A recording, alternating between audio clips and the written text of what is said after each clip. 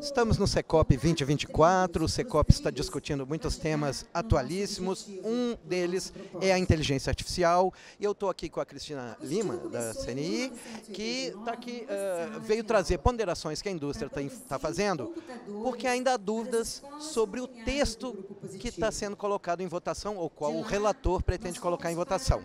Cristina, quais são as críticas principais que a indústria faz ao projeto e por quê? A nossa principal questão é a inovação, né? Que o texto do projeto ele precisa ficar mais equilibrado, apesar dele já ter sido muito, né, tido muitos avanços, mas na questão do desenvolvimento científico e tecnológico. Então, nós propomos principalmente que a, o desenvolvimento científico e tecnológico fique excepcionado de medidas de governança duras na fase do desenvolvimento. Isso não implica em retirar é, obrigações e responsabilidades dos desenvolvedores, mas temos muito mais uma questão de momento, né? que apenas na implementação ou quando essa tecnologia entrar no mercado é que essas questões sejam objeto de avaliação do poder público em relação à governança e riscos. Por quê? Porque do contrário nós vamos acabar matando o desenvolvimento tecnológico na origem, né?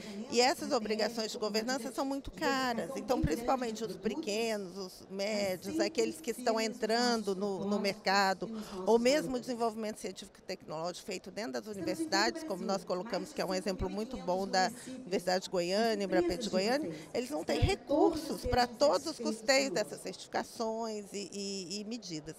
Então, esse é um, um dos pontos essenciais que a CNI coloca a reflexão. e estamos apresentando proposta. O, o relator é muito aberto, ele está preocupado, ele tá, está nos ouvindo.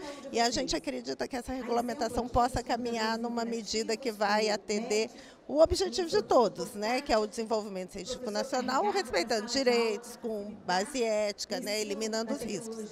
E aí um ponto importante é que a regulação foque também nos usos e aplicações, e não no sistema em si. Uma das coisas que nós colocamos que é o mesmo sistema pode é, refletir em questões de, vamos dizer, reconhecimento facinal, que pode ter algum viés discriminatório, mas é o mesmo usado para a indústria para verificar a segurança de produtos, né, e que acaba tendo segurança do consumidor. Então, se você regular na tecnologia, você vai impedir o desenvolvimento de uma tecnologia que pode ser importante para a segurança do consumidor, quando na realidade o foco deve ser apenas o uso e aplicação que possa causar algum problema de viés e etc. E aí a regulação deve incidir, incidir forte, incidir na medida adequada para respeitar o direito dos cidadãos brasileiros. Exatamente nesse ponto, ou seja, até você comentando, parece que tem uma boa intenção, mas que tem que pensar um pouco que elas têm consequências. Você chegou a mencionar um exemplo claro de que uh, há, há, trechos do projeto que entram em conflito até com o Plano Brasileiro de Inteligência Artificial. Você citou, por exemplo, que uma das metas do plano é criar uma LLM nacional, mas isso teria uma dificuldade expressa no projeto. Como é isso? Sim, a gente precisa equalizar a proposta com esses planos, tanto o plano brasileiro é, de, de né, o PIBIA, como também o da nova indústria, que coloca o, o, a inovação, o desenvolvimento científico-tecnológico como core da indústria. Todos esses sistemas eles são usados para aumentar a produtividade no setor privado e, e, com isso a gente colocar nossa, manter nossa indústria competitiva e não sair do mercado, como para o serviço público público também, para poder atender melhor os cidadãos mais rapidamente e com mais qualidade.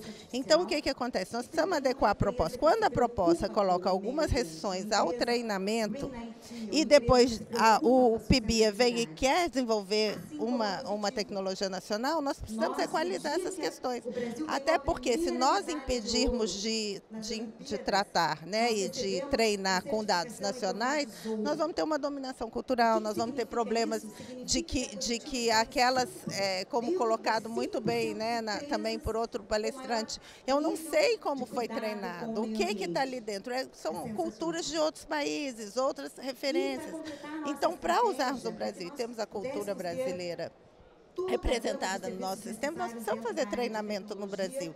Então, nós temos propostas para equalizar, e também isso não significa em diminuir de forma alguma os direitos autorais, a gente tem propostas para equalizar tudo, mas são pontos que ainda precisam ser refletidos e melhorados, né, para que o projeto atenda os objetivos. Ele foi feito por pessoas muito sérias, o senador Eduardo Gomes é muito sério, e eu acho que é esse debate mesmo que vai levar a uma construção mais equilibrada.